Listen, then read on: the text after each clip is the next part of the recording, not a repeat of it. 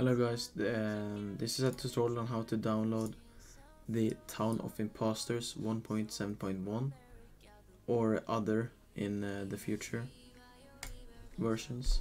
Just click download on this zip, the 9.45 48 megabyte. Just open up the file, drag the file to the desktop, and then you can pull up Steam. Just right click Among Us, manage and browse local file local files.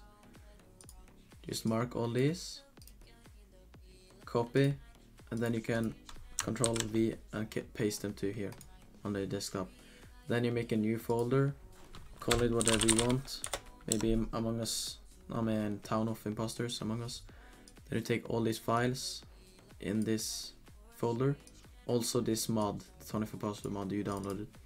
I will, I will uh, link the I will put the link to the mod down in the description below. Then just extract files here when it's inside here.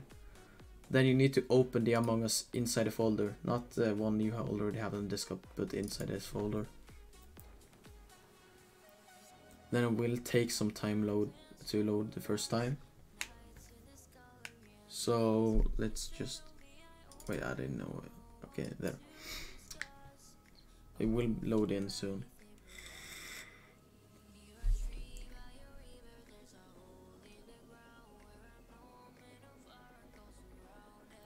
There you go.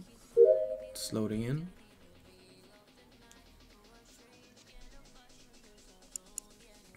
The first one, maybe this will pop up, but then press exit.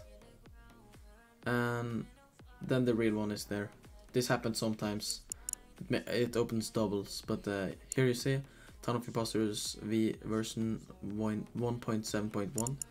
I can just show you a free play on Skeld here. I'm the detective, so I can see footprints. This doesn't really work here when it's free play because nobody's moving around, it's just these dummies. So I can't really do anything here, but yeah.